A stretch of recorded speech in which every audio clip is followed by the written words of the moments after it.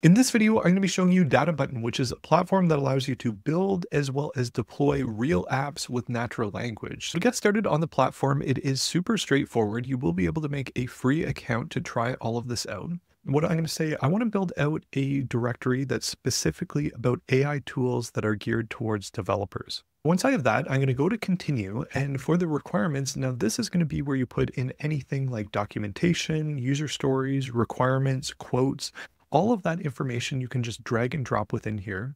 Now it is also optional, so I'm going to skip that step. And then for any design inspiration that you have, you can include them here. Here I included a few different screenshots of some websites that I thought had a good overall design. Next, the great thing with Databutton is it makes it really easy to add in authentication, database, payments, as well as storage. You have the option to choose between Firebase as well as Supabase, for payments, Stripe and Lemon Squeezy. And then for storage, there's Firebase, Supabase, AWS, as well as GCP storage. I'm going to be leveraging Supabase Auth as well as the Supabase database for our application since we're not going to be using payments or any object storage in this video. As soon as you go through those initial steps to create your application, you'll have a screen that looks just like this. Within here, the AI under the hood generated this to-do list for us.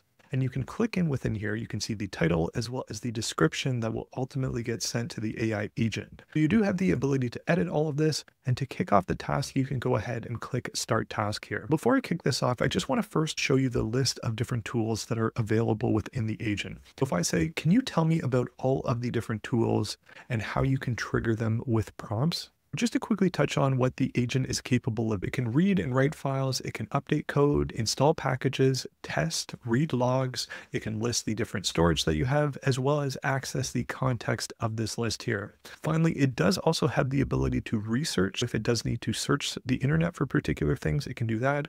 And then finally, it can also deploy your application. Now, what I'm going to do is I'm going to go ahead and kick off the task to create the Tech Brutalist landing page for DevTool AI. The Tech Brutalist theme, that's going to be one of the design concepts that it pulled from those screenshots of those different websites that I provided with. What we'll see on the right-hand side is we'll see the agent work through the different steps here. We see that it can read the files, it can write the code, and what this will do is it will just go through a loop of thinking through the different steps of what it needs to do to accomplish this broader overarching task. And once it's determined that it has met that goal of that task, it will present that solution to us. So now if I click to the preview tab, we'll be able to see what it generated for us. Here's the initial implementation of our homepage here. If I just scroll down and take a quick look at what it generated for us, Within here, we can also preview it on tablet, mobile, and you can also open up the preview in a new tab. If you click on over to overview, what you'll see is this app flow diagram. Now, where this is helpful is to really have alignment on what the agent is actually creating. Because sometimes when the agent just goes off and you see it running and performing in the loop, sometimes not having that visibility can be difficult. But with this, it gives you a really clear visualization on how different UI components relate to one another, which pages share different components, as well as you begin to build out the backend, you'll likewise be able to see all of your different APIs and authentication and how different things relate to one another within here. Overall, it's a really helpful visualization just to give you an idea on what the agent is actually doing. Another new feature that they just added was this ability to send preview to agent. So if I click this and I take an overall look at our homepage here, I notice that at the bottom here, there are some particular sections that don't look too great. Here I see that the text isn't too visible. I'm going to highlight that area, save it out. Now we have that context within the pane here. And what I'll say is I notice within the section that some of the text isn't visible. Let's make sure that the text is white, especially when over dark backgrounds. Now that it went through, I'll open up our application here and I'll just scroll down to that particular section. And now I see that it resolved that error. That can be really helpful, especially when building out the UI portion of applications is being able to send in that context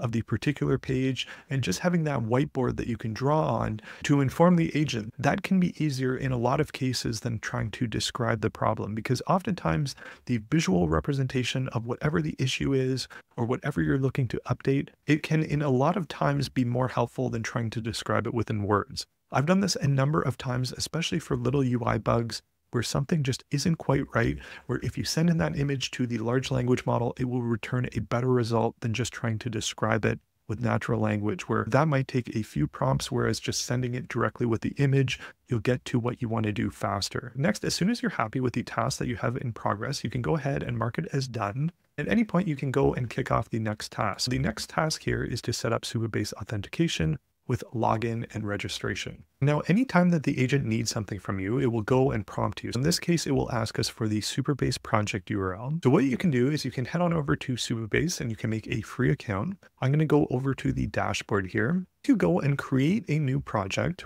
As soon as you create a new project, if you haven't used Supabase before, this is what the platform looks like. You'll have your database, authentication, storage if you're using it, all within the left-hand sidebar there. And to connect to the project, we can click connect here. We can go over to app frameworks. Now there's a couple different ways on how you can get this information, but all that we'll need is that URL as well as that secret key. Now it looks like Supabase should all be set up. Now what you can do within the platform as well is simply deploy your application with just one click. You can go to the deploy button at the top, determine what the path you want to have, and it will go start the deployment. And generally speaking, it just takes a few seconds.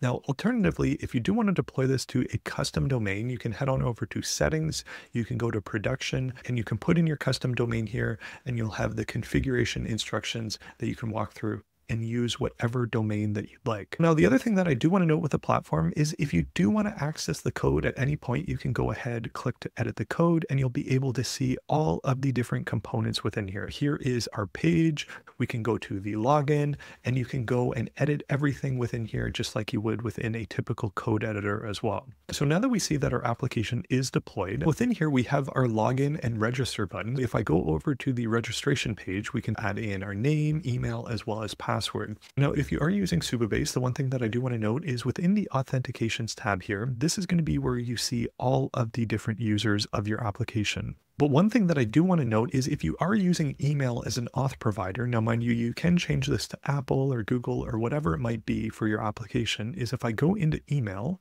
I'm going to turn off the confirmation email and save that out because right now Supabase doesn't have the context of where our application is on Supabase. So if you're testing it out on the platform, this way it's not going to require and prompt you to authenticate through an email, which it otherwise would have done. Now, mind you, once you deploy this application to production and you are using Supabase, you can just go over to your URL configuration and you can update your site URL where you will be able to use the email authentication signup process like you typically see on other sites. Now that I'm happy with that stage, I'll go ahead and I'll mark that complete.